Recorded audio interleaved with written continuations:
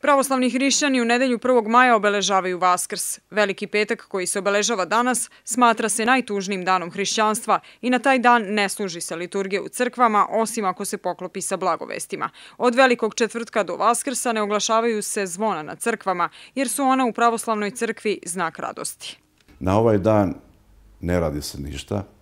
On je veliki po svemu, dakle, po svim propomukama Hristovim i nama daje obavezu da doživimo taj dan.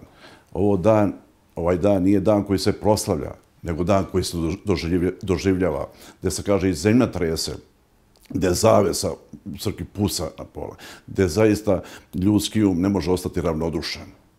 Danas naše majke, žene, devojke, deca farbaju jaja, boje jaja i danas je vreme molitve.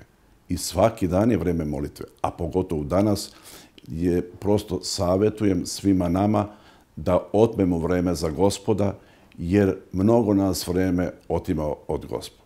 Sutra se obeležava Velika subota, drugi dan hrišćanske žalosti. Velika subota je dan u oči Vaskrsa u kome se završavaju poslovi neophodni za doček velikog praznika. Sprema se i čisti kuća, pripravlja ruho, boje jaja, a po pravilu izjutra pre izlaska sunca.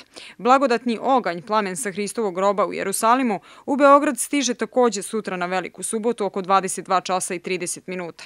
Svečani doček ognja biće organizovan u hramu Svetog Save u Beogradu, gde će se služiti i ponoćna liturgija.